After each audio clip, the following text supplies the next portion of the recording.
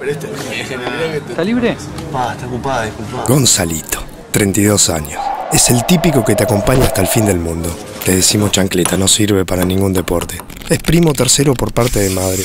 Yo prefiero llamarlo amigo. Alfredo, ovo lacto vegetariano.